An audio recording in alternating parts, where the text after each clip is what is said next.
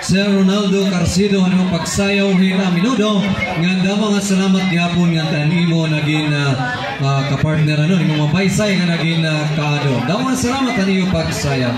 Karon nga ni acknowledge si Honorable Sangguniang Bayan Member GC ni Flores. Damo nga salamat siya ito imong pagtambong ini nga kalipayan yan nga gabi.